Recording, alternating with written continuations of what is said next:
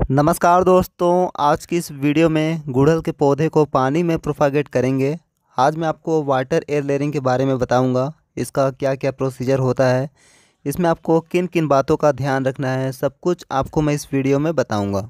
दोस्तों, जिस ब्रांच पर आपको वाटर लेयरिंग करनी है, वहाँ के पत्तों को आप रिमूव कर लें, जिससे यह प्रोसेस करने में आपको आसानी होगी।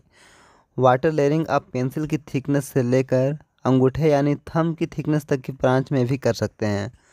आपको एकदम से जो नई ब्रांच होती है, सॉफ्टवुड वाली जो ब्रांच होती है, उस पर आप इसे ना करें। वाटर लेयरिंग करने के लिए रेनी सीज़न और स्प्रिंग सीज़न बेस्ट रहता है। यानी ऐसे मौसम में आप इसे करें, जब टेम्परेचर बिल्कुल नॉर्मल सा रहता है। लेकिन फिर भी इसे आप गर्मी के मौसम में भी कर सकते हैं। लेकिन तब की स्थिति में आपको डायरेक्ट सनलाइट से इसे बचा कर रखना होगा।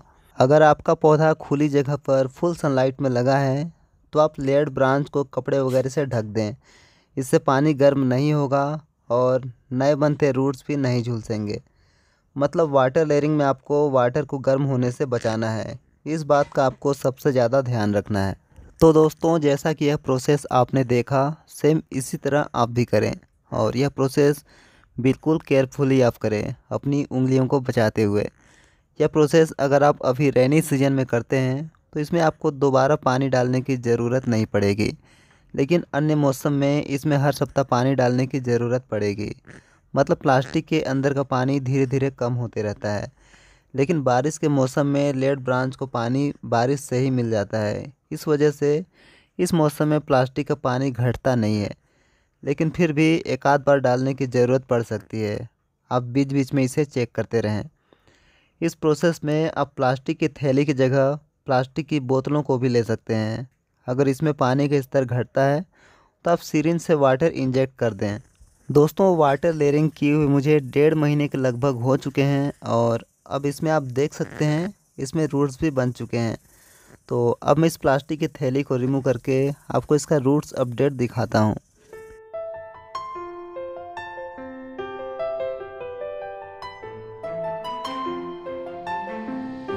वाटर लेयरिंग करने के बाद जब आपकी लेयरिंग सक्सेस हो जाती है तो आप उसे कट करके एकदम से बड़े पोट में ना लगाएँ।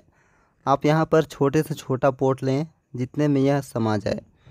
नहीं तो महीनों की मेहनत पर पानी फिर जाएगा। देखिए यहाँ पर होता क्या है, जब इसे एकदम से बड़े पोट में रिपोर्ट करते हैं तो ज़ाहिर है बड़ा पोट मिट्टी ज़्यादा लेगा, और ज़्यादा मिट्टी की वजह से उसमें मॉइस्चर भी ज़्यादा होल्ड होगा। इस वजह से हमारा प्लांट सरवाइव नहीं कर पाएगा। तो एक रीज़न ये हो गया और जो दूसरा रीज़न मैं आपको बताने जा रहा हूँ, वो सबसे इम्पोर्टेंट है।